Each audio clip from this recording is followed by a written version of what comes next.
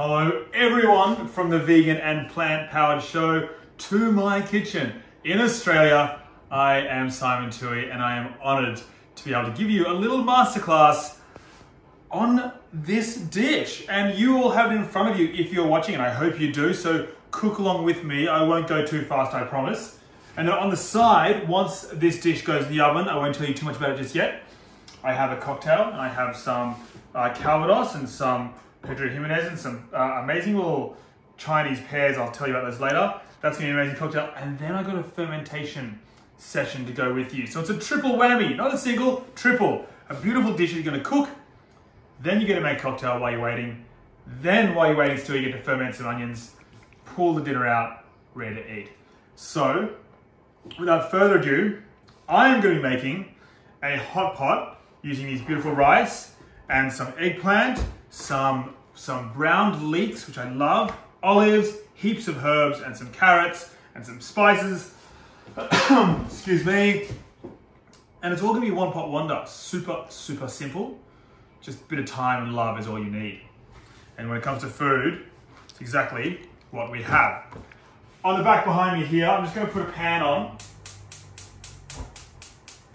Medium heat. Bit of oil in. Okay. And the reason why I'm doing this is because a lot of the times people forget that when it comes to flavor, vegetables seem to miss out. A lot of steaming, a lot of boiling, a lot of uh, overcooking. This, vegetables, have exactly the same ability to create flavor like meat does when you add color. And leeks are a classic example of that. What I'm gonna do is put the leeks cut side down. I've taken the tops off. These are great to uh, use in stocks down the line, so don't throw them out. You can also char them and then and then dry them and then make them into oils. Really beautiful. But I've taken them, the, the greens off, and then I cut them straight down the middle. And the leeks are, you know, are known for their soily bits inside. Yeah, coming close. So in here's all the leeks. So when you wash it, make sure you always keep the cut side facing down towards the sink and you wash it down through here so it doesn't push the dirt back up into the stalk and get st stuck. So I've just washed these, pretty simple, nothing scientific about it. But what I wanna do is I wanna get the cut part. So the fresh, newly exposed um, sweetness from the leek, and I'm gonna put that on the oil and the pan that we've just heated up, and I'm gonna get some color in that, and that's gonna drive flavor through the rest of the dish. Come on in. Don't think it's gonna be hot enough now, but that's okay. Oh, a little bit, a little bit of sizzle, a little light on, ready? Oh. The difficulty sometimes of uh, cooking at home is light, I think. But if you take a little squid to your right, look at this little French onion soup that a friend of mine and I have been making for a long, long time. Ooh-wee! Delicious, plant-based as well, onions. I mean, look, it's a bit of a theme going on. So I'm gonna let those sit for a bit. You can put a weight on there, which is pretty cool. That always works, just helps to, to sort of, oh my gosh, I'm really struggling here. It helps just keep them flat. So a little weight on, speed up the process. Clean up as we go along. Look at this. Look at this. Little olive bread. Olive, olive sourdough. Speaking of olives, another flavor bomb when it comes to plant-based eating. Olives, Kalamata olives. I just got these pitted and they're gonna go in to add that salt hit that I want. So got some, you know, maybe 50 grams-ish. You could weigh it, no, about 50 grams. And this really is up to you because you can have as much or as little as you want. If you're an olive lover, then, you know, put more in. But if you don't like olives, which I know some friends of mine don't, um, then them out entirely. Maybe put capers in. That's a really good option. Capers is a really good substitute. Or preserved lemon would be really cool. I love that. Hmm. Yeah, they're good ones. So I've got those chopped up, They're really roughly chopped. Um, I'm just going to reiterate the fact that this is a super, super simple dish. So the people at UCook have obviously dropped off the meal kit to you. Hopefully everything is there and ready to go. Um, and you're just following along. I've got my carrots here. Now I've just got little Dutch carrots and I've taken the tops off, but you can use just a regular carrot. I really want you to understand that this dish is really uh, create your own journey by you, not necessarily by me. I've given you the book, and now you just have to fill in the words and the pages with you just have to fill in the pages with words. Um, but keep it simple, because when you come home from work, the last thing you want to do is slave over a, you know, slave over the over the stove for a long period of time, trying to cook for four, five, two even people. This allows you to get all the prep done dump it into this, a pot. You can do it into a regular stove. Like you can start a regular stove. Silly son, use your words right. You can do it, you know, in one of these, if you like. Just a regular pot. A lid is preferable. Um, that's great. But I've got this. This is my grandmother's, like my grandmother's old Royal Doulton. Doulton? Made in Australia. Oven to table, it says. How's that for marketing? Right. Carrot's done. It's just a beautiful little bit of texture. Our eggplant, top off, hang out there. Now the thing I love about eggplant, I think, because this crop, I mean, this is a huge eggplant. Look at the size of that. So I'm just gonna go half. You can go whole, obviously the more the merrier.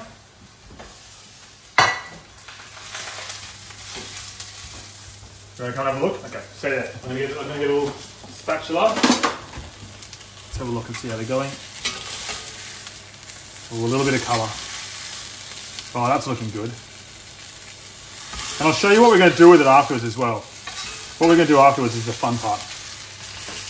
Right, back it up. So, keep clean, son, keep clean. I will put the fan on, but I think it might deafen all this. Slice these into cubes. The thing I love about eggplant is its ability to soak in so much flavour. There we go. If you get two bigger pieces, again, roughly chops, that's probably a little bit too big because we're not frying it, so it's not really going to set and shrink.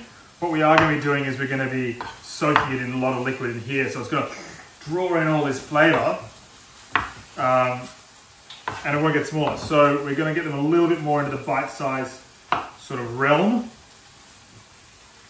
Again, classic me. Chill out. Don't have to make it perfect. I'm giving you permission to be creative here. Dill, parsley, as much or as little as you like again, but I'm going to take, there we go, a few stalks, right?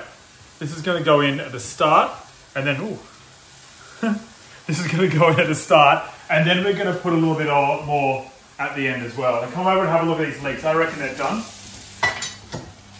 Squeeze. Yes, look at that. That is beautiful. Take these off the heat. Bring these back over with me.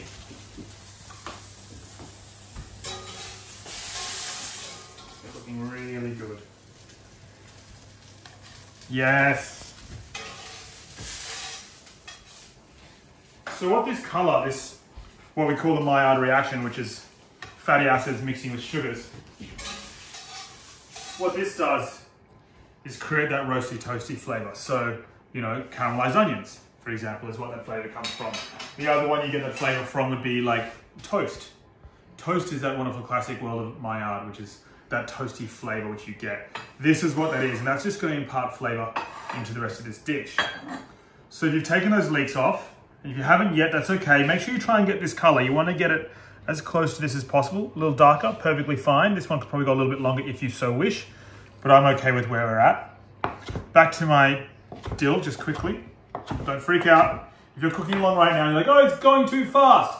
I'm sorry, I'll slow down. just slow down for you. But all we're doing is taking our leeks, and I've made this dish so many times, so I kind of, it's just it's just muscle memory now. And also I just make, a lot of it I just kind of make up as I go along. But I've ch chopped up a nice palm full of dill. That's gonna hang out here on my board. Right, then come across parsley, grab. And the thing that people forget is parsley, parsley stalks. Park, parsley stalks are absolutely amazingly delicious and totally edible. So, same thing with the parsley. I reckon I've got a good handful of parsley there. There we go. Then, finally, my stock. I just use a stock cube because I always have, I have, what do I call it? I just call it emergency stock. I mean, I have a lot of stuff in my freezers full of onion skins and garlic skins and uh, fennel bulbs, you know, that are going, or vegetables that are going a bit south, maybe sort of like a couple of carrots that aren't so good, and then I make stock. But sometimes I don't have stock. So I have what I call emergency stock, which is stock cubes. And they're, they're great, they're absolutely fine. I, I don't have a problem with them at all. I think people really should just go with what they're used to. And I needed stock today, and here we go. I've got it. It's, it's, it's utterly perfect. And I've got 400 mils there. And I've got 250 grams of rice. Or I've got, two, oh, sorry, I've got a cup of rice. And I got, because I'm being a bit bougie today, a bit of saffron. I love saffron. Really, really nice. Okay. So jump with me. Let's have a look. There's a fly here.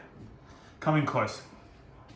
Let's have a little checklist of what we've got. Let's clean up a bit here. A bit of a mess. Apologies, apologies. Let's have a look here. We've got coriander seeds and cumin seeds there, teaspoon of each. I've got a palm full of dill, more or less up to you. All of this is more or less up to you. Again, same with parsley. Over here, I've got my eggplant. Easy peasy. Carrots. My baked leeks. My beautiful Kalamata olives. Yum, yum, yum, yum, yum. Stock saffron. Now, while you're probably maybe catching up on your end, let's talk about substitutes because it's important to know that people don't have to like everything and it's okay. So we talked about those olives you can substitute. Leeks, you could use regular onions and you can do exactly the same process if you want. Um, you don't have to put leeks in there at all. You can put something else entirely. Uh, what else can you do other than leeks? Spring onions, garlics, uh, had to look through the thing. You could do fennel, thin slices of fennel. Oh, delicious, great. You could use that instead. So there's heaps of options you can do here. Eggplant, again, you don't have to do that. You can use mushrooms. or some other one to substitute with. Um, and you can even go down the root veg style and stick with the carrots. You could do maybe celeriac. Uh, you could do turnips or swede. I've done this with radishes before. Really, really cool. Love it with radishes. So definitely, definitely available to try. Okay. Back in. Coming close. This is the fun part. I'm going to create it now. Sounds like we're going, well, we're pretty much done when it comes to the creativity of it all. We've cooked just this so far. And I'm to throw in, i am to get, I'm to measure this. I think it's, I, I don't really measure it when I'm making it myself, but I'm to measure it.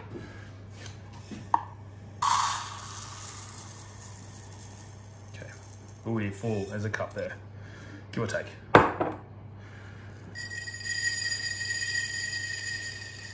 rice at the bottom. Pretty simple. Awesome. Now for the fun part. So when you're creative, leeks. I've just chopped the tail off. These are actually really good. I love eating the bottoms of the leek. If you actually put that in a hot pot, and I'll put one in there, I'll show it to you later on, it turns into this beautiful, chewy deliciousness. And as long as there's no oil in, um, no dirt in there, happy days. All right. Layering time. So all we're doing is creating layers of flavor through that amazing cooking you did from those leeks. Here we go. Placing them in here. And these as they steam with the stock in the oven, they will impart a lot of flavor into that rice. Not only that, the flavor into your eggplants. Flavor into your carrots. Flavor of the beautiful olives as well. And that's just one layer, right? Let's go around two. Cut the bottom off. Come back to me here. Layers. Kind of making this sort of like leek style lasagna really, aren't we, in some ways, without the without the mince. But look how shiny that is. I mean, I just love it. It's when food excites you is when it, you know it's going to taste good. This upside down. Great. And then let's go. More carrots, top. I'm just being a little bit creative here. You can just dunk, dunk it all in if you like, but when it comes to the table and you have this sort of jewel reveal, I think that's really cool. Great. More olives. So I've just used one leek there, which is all you need. But if you have a bigger pot, use it all or chop these up and throw them in as well. Last bit. And then finally, herbs. Not finally, because we've got the, the spices to go in as well. Herbs. Look at that. Maybe we just eat it raw. it looks so good. Spices in. Cool. Cheeky bit of saffron. I'm gonna put that in the stock. I probably should have done that at the start. But if you have hot water, sorry, this will still work because it will definitely, definitely, definitely heat up. And stock all around the top.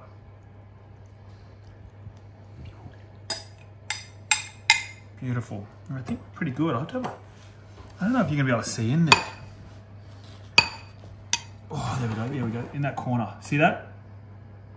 You see that all right? Beautiful. So that stock is holding on tight. And don't forget, it might you might think there might not be enough stock in there. The vegetables are full of liquid.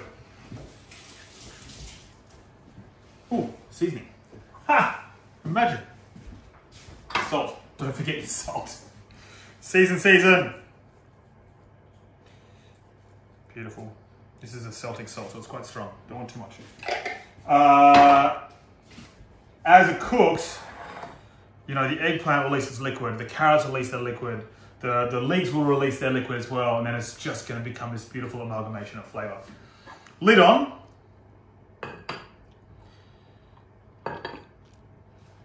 And everyone out there who's watching and cooking along, that is it. I have the oven at 180 degrees, and I'm going to put it in there for 30 minutes.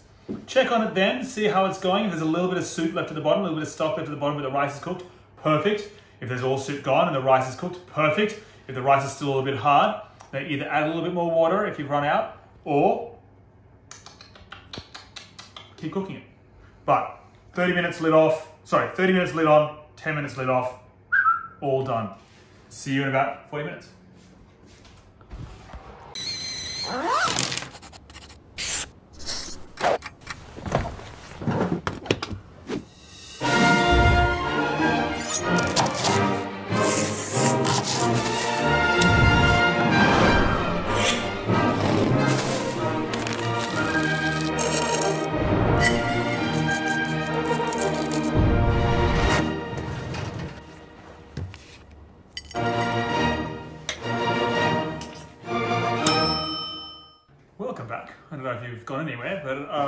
See, everything's cleaned down and we're moving into the fun part, the precursor to dinner, which is that little cocktail that I love.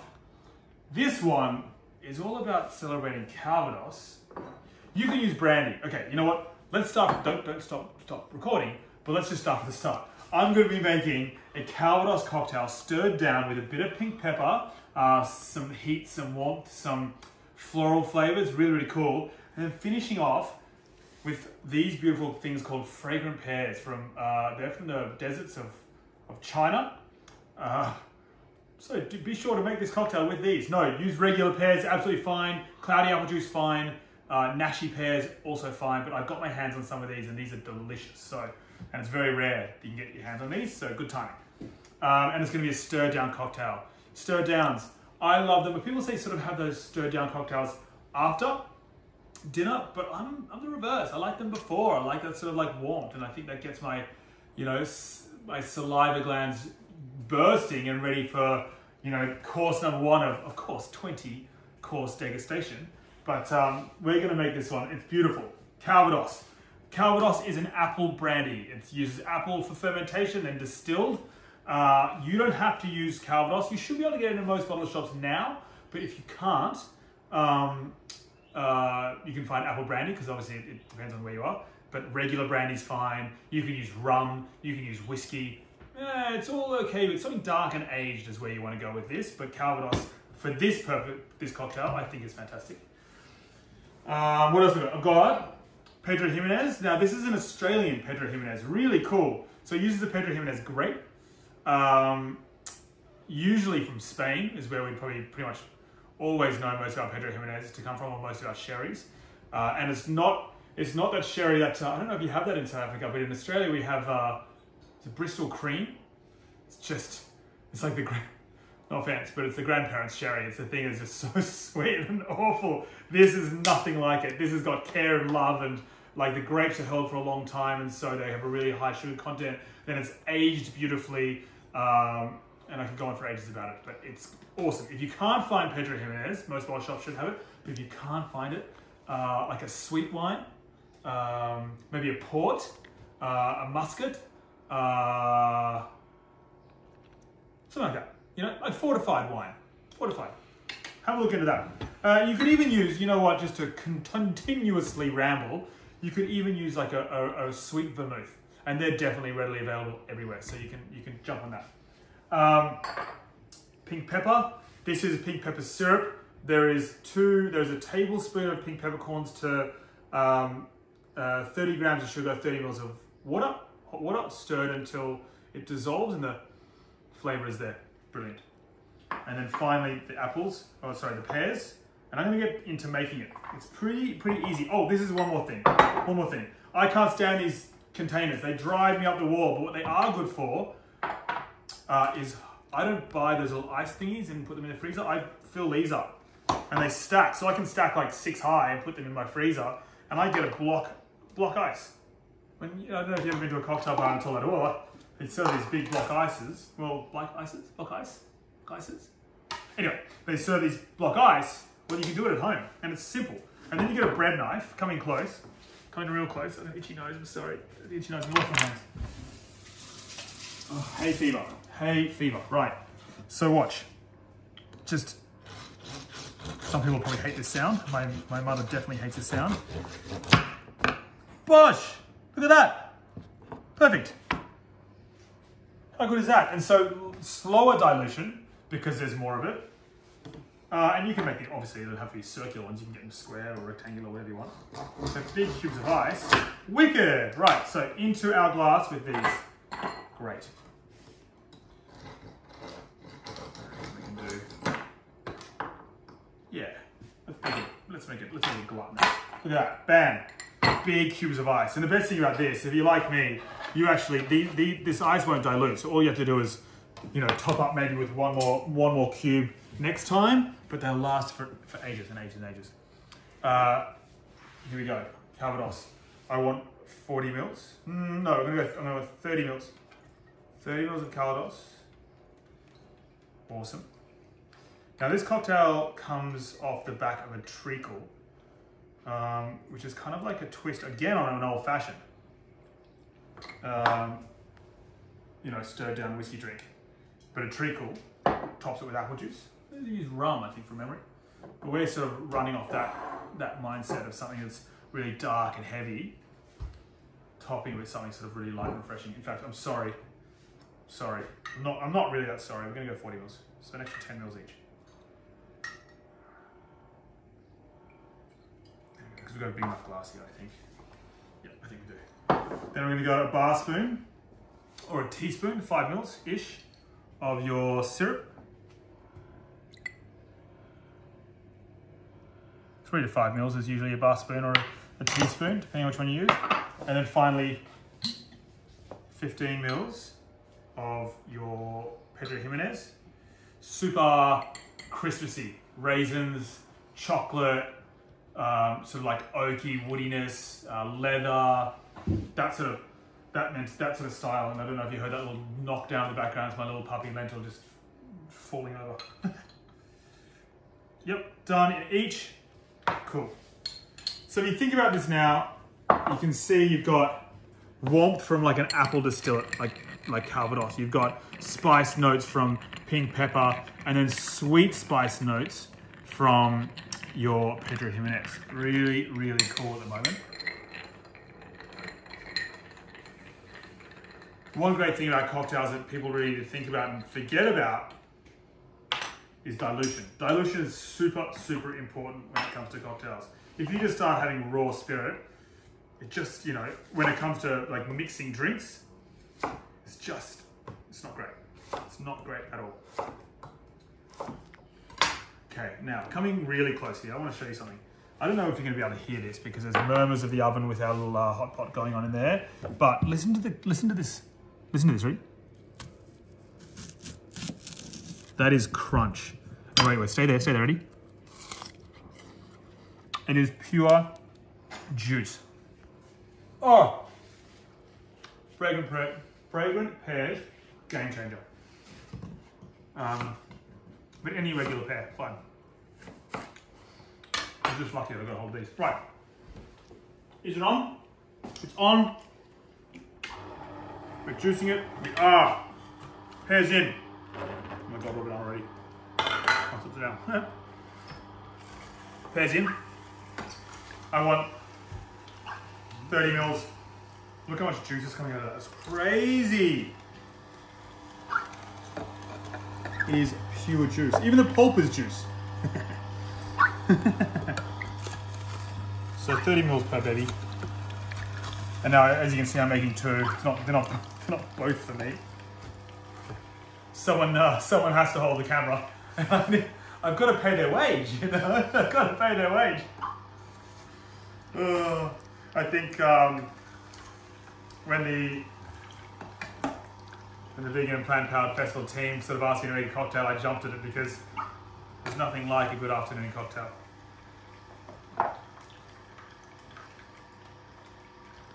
All right, I reckon that's enough. Off. There's a little switcheroo. Juice is there. Finish my pair off. You know what? Save the seeds, dry them, put them in the fridge, and see if you can grow your own. Mmm, you can grow your own. I mean, I don't know if our climate's really going to help it. But these pears grow in desert, like really flat lands, and they get glacial water from Tibet, and they feed that glacial water to water these these plants, uh, to water the, the trees, uh, and you can't actually walk on the soil because you'll sink. And then for two months of the year, I think they, they dry out entirely so they can go and harvest all the pears. Mind blowing. Things that people do. Right. We'll stir again. Clean up your station. Taste. Oh, yep, yep, yep, yep, yep, yep. Now before this goes brown, because that's what, you know, has that possibility. Top with that juice. Oh.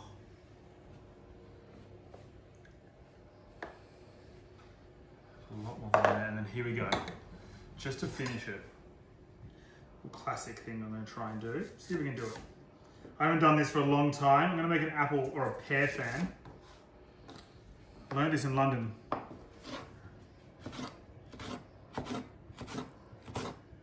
This will impress the judges.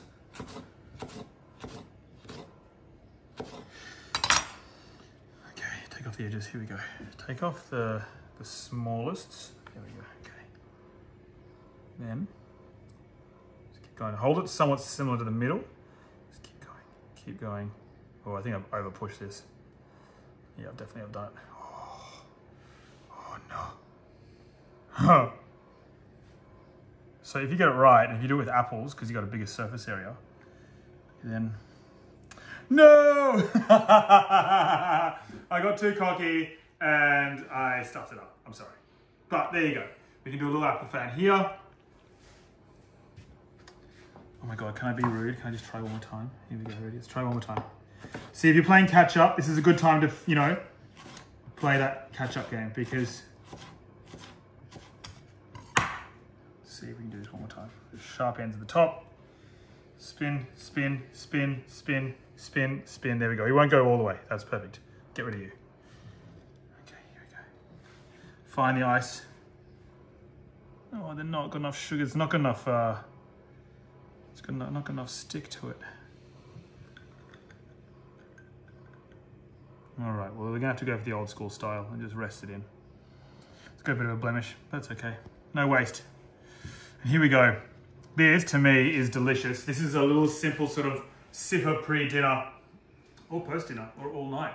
But Calvados, Pedro Ximenez, pink peppercorns, beautiful pears, amazing, little juice on top, refreshing, light, slightly spicy, and definitely Christmassy. Get into this, and now I'm gonna show you how to ferment some amazing onions.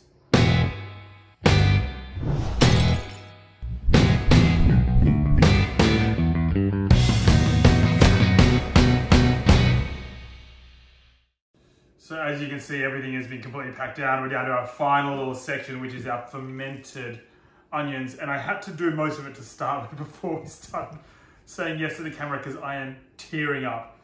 These are some spicy onions. Uh, and all, I'm, all I've got is a, I have, I've got one red onion and two brown onions.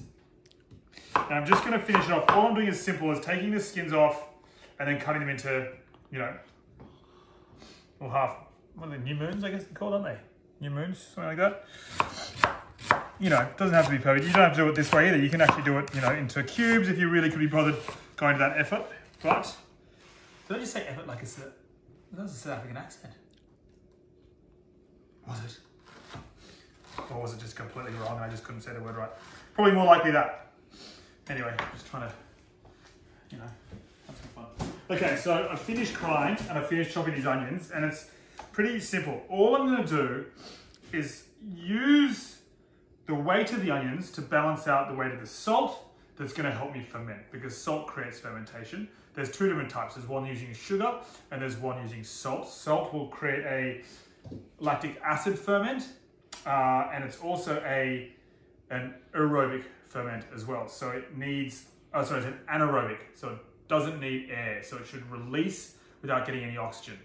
Um, all technical, not important at the moment, but I'm going to show you too. Unless you're going into like great, great detail of ferment history and all that, uh, you don't necessarily need to know. What you do need to know is the percentage of salt. And I'll go no less than 2.5% salt to the weight of your ingredients. So I have 550 gram, oh my God, I've really put myself in a pickle here. I've got 550 grams of onions. If 1% is five grams, 5.5 grams, 2% is 10, 11 grams? 11, so let's just go. Camera person, do you know the 3%? I want 3%. Salt to 550 grams. You can say it out loud, don't worry. They, you know, I've given up now. 5, 10, 15. About 15 grams, right? No. Yeah. Yeah, 5, 10, 15 grams. Yes, okay, 15 grams. So we're gonna go 3% as if it's 500, not 550. And I'm sorry if you're over there yelling at the screen telling me that, you know, what the what the, the actual range is. I just am not very good with maths. Um, and so we're gonna do 15 grams of salt. I'm sorry I said. Right, okay, 15 grams of salt. Nine, 13, 14, 16. It's okay, it's all right. You'll be all right. Sprinkle over. Now I do want to flavor my onions. I want to I want to make them in, uh, I love sumac. It's got a beautiful acidity to it. Oh, absolutely gorgeous. And if you get a hold of the sumac, this is beautiful. And I'm just gonna add maybe two tablespoons of sumac. It is relatively strong, uh, but it's gonna cover, dessert spoon, there we go, it's better. There we go. And it's as simple as mixing this around, getting all the salt hit all the edges. And I'm gonna use my hands because it's the best way to get all that. And what you're trying to do is the salt is gonna break down the cells of the onion and it's gonna start releasing all that liquid that onion has. Um, what is really important when it comes to fermentation, there's a few things. One, that your salt ratio is right. And so you really should be looking at 2.5 as a minimum, give or take. You know, it, this is for people who just want to try fermenting for the first time. Oh my Lord, that is so spicy. And if you have some ski goggles, wear those. Uh, the other one as well is it's really important to make sure that the top of your ferment is covered in liquid unless you're using a high percentage. So this is another little rule of thumb. Aiming for the top of it to get covered in liquid. Now what's gonna happen here, here, can you hear that? It's not a great sound. You can hear the liquid already sort of leaching out from those onions. And I'm pretty happy with that. It's all I really want. It's all I want because I know, I know that this is going to slowly rise up. The liquid is slowly to get more and more as the onions leach out their juices. So into my jar, and I just realized I've made way more than I need to. Got these Kilner jars, they're the best, right? I love, because they're really well reinforced, um, and they come with these little weights. These weights are great. So what that does is help push out that liquid that you're after without going too crazy. So I'm gonna push it down, not too tight, because you do want the fermentation to, you know, to happen. A little weight on top. So as you can see, the liquid hasn't come to the top yet. Like I'm very well aware that that is not, it's pretty close though. Come down a little lower. Can you come down a little lower? Can you see where that liquid sort of, that liquid line?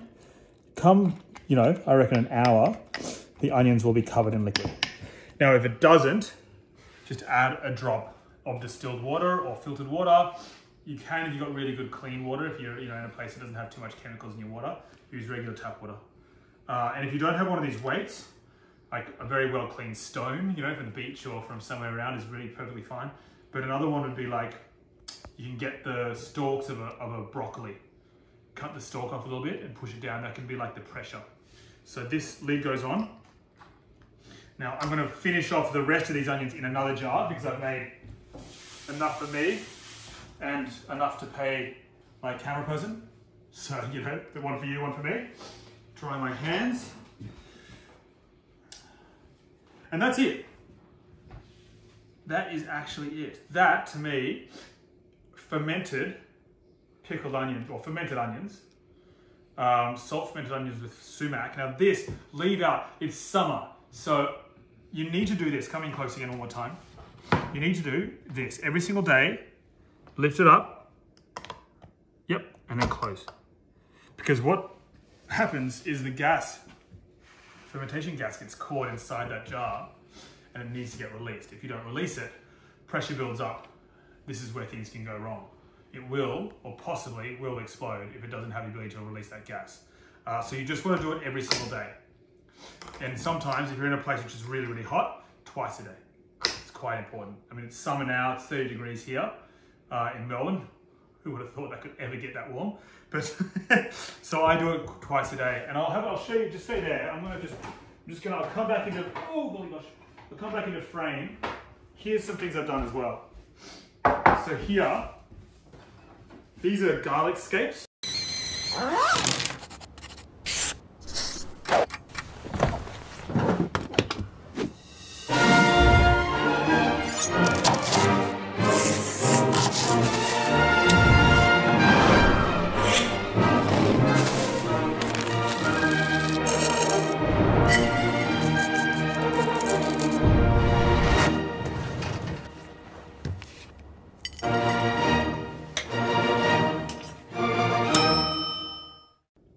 As you can see, you know, the liquid there, I actually added water so it cover, it would cover the top. And that's gone super sour, like nice and sour, lacto fermenti. And this is some soured corn that I've done. And this is the same process. If you think about the liquid content of, of corn, I mean, it's hugely juicy and full of sugars. So I did a dry salt, like exactly the same thing.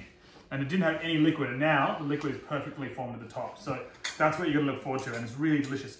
And I've used these onions on uh, on burgers, on sandwiches, um, in salad. I mean, everything. Because come a week, and that's a week, right? About a week, keep tasting it because you'll start to taste this nice sort of vinegary sourness coming about. That's what you're aiming for. So in about a week's time is exactly when you should be putting that probably in the fridge, and that'll last for a really, really long time in the fridge. I mean, I, I reckon we'll probably eat those in a week easily. Like they're just so delicious. But I reckon you should hold tight because the 10 minutes is up with the lid being off my bake. All the time, all the. Yes, it is. Oh. Wait, I need something to stop the, uh, stop the burning. It's hot. Wait, hold tight. All right, here we go. Hmm. Look at this. Look at this. This is a plate of beauty in my mind. I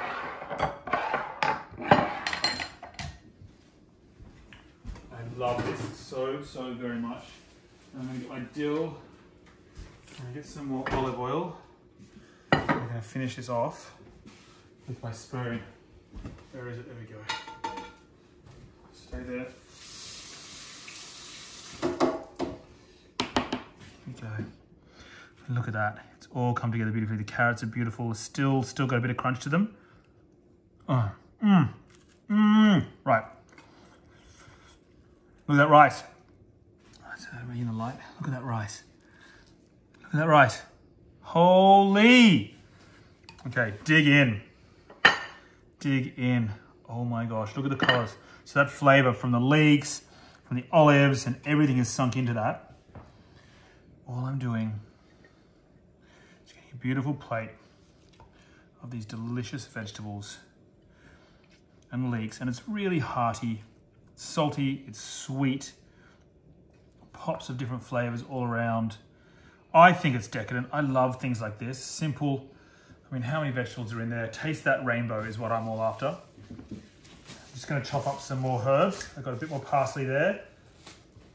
A little bit more dill.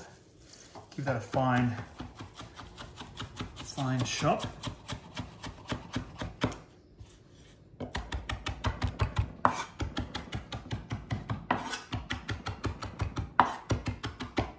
Beautiful. That'll go in a second. Finish with olive oil. Don't be shy.